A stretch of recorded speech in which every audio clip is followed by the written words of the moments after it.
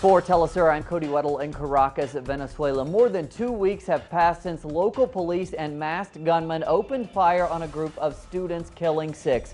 43 of the students then seemingly disappeared.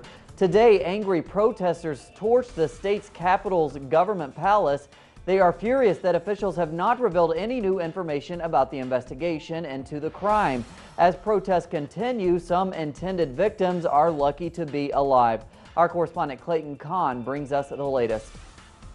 Today begins a 48-hour strike of students by Mexico's largest public university, the National Autonomous University of Mexico, or UNAM, in solidarity with the families and classmates of the 43 forcibly disappeared students from the Ayotzinapa Teachers Training College in the state of Guerrero.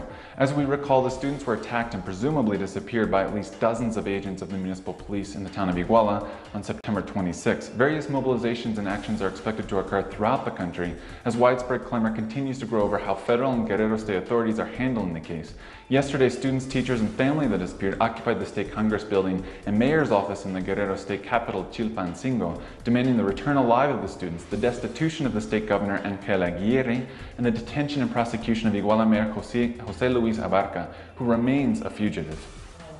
And thanks to Clayton, Bolivian President Evo Morales says he will not seek another term after his concludes. He concludes his mandate in 2020.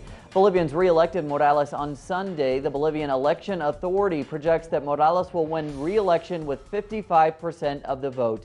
60% of the ballots have officially been counted. His closest rival, right-wing businessman Samuel Doria Medina, garnered, garnered only 30% of the vote. Morales also says he has never even considered an attempt to change the Constitution to allow him to stand for another term.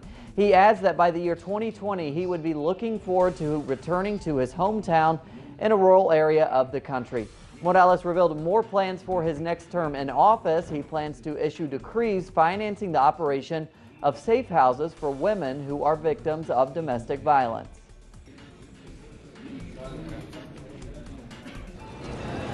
And to Brazil, President Dilma Rousseff's Workers' Party revealed internal polls today that show she has widened her lead ahead of the country's second round of voting. The survey puts Rousseff in the lead with 47% support. That's an, incre an, increase from earlier polls, which gave Rousseff 45% of the vote and her rival, Aécio Neves, 44%. Rousseff continues to warn that Neves' economic policies would be a devastation for the country. She adds that her rival's economic, that his economic proposals will deepen the inequality left behind by his party over 12 years ago. Central America was rattled by a strong earthquake underwater off the Pacific coast of El Salvador late Monday night. There was concern of the possibility of a tsunami, but authorities later said there was no risk. Power outages were reported in El Salvador, Nicaragua. Nicaragua ordered schools closed today. Our correspondent Gerardo Torres has been covering the developments all day.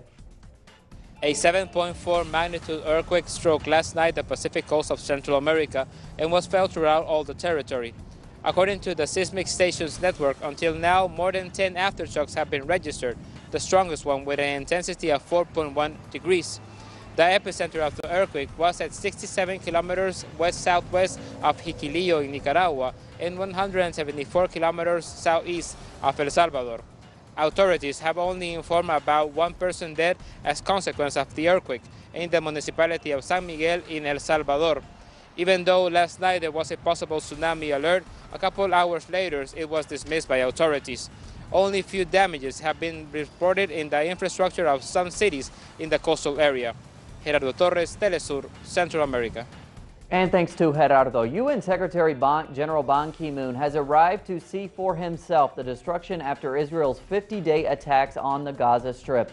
An estimated 20,000 homes were destroyed. Over 2,100 people were killed, most of them civilians, including children, women, and the elderly. Moon's visit coincides with the arrival of over 75 trucks of reconstruction aid. With more, here's our correspondent Noor Harazin. In a historic event in the Gaza Strip, United Nations Chief Ban Ki-moon made a brief visit Tuesday to the coastal enclave, two days after donor states pledged $5.4 billion in aid to rebuild after a devastating Israeli offensive. Ban Ki-moon was driven through the ruins of Gaza City's Shijaiya neighborhood and the nearby Jabalia refugee camp, two of the most affected areas during Israel's ground invasion, to witness the scenes of some of the heaviest shelling in Israel's military assault. Uh, this is my third visit to Gaza, uh, but uh, I wanted to visit last time, last July, when I was visiting the region but at that time, I was not able to visit because of the continuing violence. Uh, I'm here to send my uh, strong solidarity and support to the people of Palestine. Before I say a few words, I'd like to uh, take this opportunity to express my deepest condolences to all those people who lost their lives and uh, to family members who, who lost their loved ones and family members. The destruction which I have seen while coming to here is beyond the description.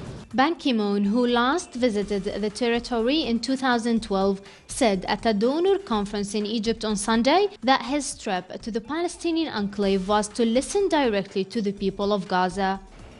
During his visit, UN chief met with members of the new Palestinian government alongside officials from several Palestinian parties to discuss the current situation in the Gaza Strip in order to implement plans of easing life on the ground and help affected families immediately. Noor Harazin, Telesur TV, Gaza. And thanks to Noor. In France, Foreign Minister Laurent Fabius says his government would consider the recognition of a Palestinian state only if it is helpful to peace. His statement comes after the UK Parliament voted in favor of a symbolic recognition of the Palestinian state in an effort to pressure Prime Minister David Cameron to do the same.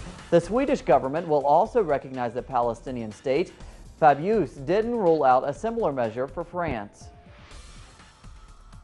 We are working in this state of mind with all concerned parties and notably with the Palestinians. That means that we will not only act in a symbolic way, but to be useful for peace. And I confirm that when the time is right, there will be a recognition of the Palestinian state. The World Health Organization has warned that the Ebola virus is now killing 70% of the people who are infected with it. It added that by December 10th, by December 10th, thousands of new victims could contract the disease per week. Over 4,000 people have died so far due to the epidemic in West Africa. The disease continues to expand geographically. There are more um, uh, district, counties, and prefectures that actually have disease than there would have been a month ago. Um, and it's happening in all three countries. The U.S. has ramped up airstrikes against the Islamic State extremists in the Syrian border town of Kobani. This Kurdish town has been submerged in chaos and intense fighting as ISIS has taken control of up to 40% of the enclave. The increase in U.S.-led attacks shows that Washington has changed its mind about how important it is to avoid the Islamic State fighters take over Kobani. President Obama spoke today to defense chiefs from more than 20 coalition countries, saying he is deeply concerned about the advance of ISIS in Iraq and Syria. He is facing difficult new options to bolster allies in as he weighs the recommendations for tougher action. Experts have said he must worry that because of the deteriorating situation, he's being pushed down the very path he had hoped to avoid, which is sending U.S. ground troops into Iraq and possibly Syria. The leader of Spain's Catalonia region, Artur Mas, today said despite that the referendum on independence has been blocked by objections from Madrid, the region would go ahead with November 9 vote with a non-binding vote on succession. Artur Mas had earlier said the referendum was canceled, but in his latest act of defiance toward the Spanish government of Prime Minister Mariano Rajoy, the Catalan leader announced his government would urge citizens to take part in the consultation. He added that his government had the right to organize such an expression of popular will and that doing so would not violate Spanish law.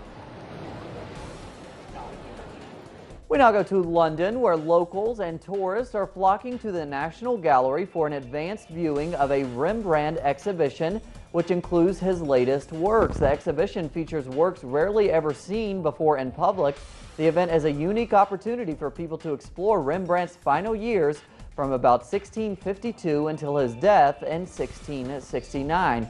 This era has been described as a remarkably fruitful period for the artist by expert and curator Betsy Wieseman.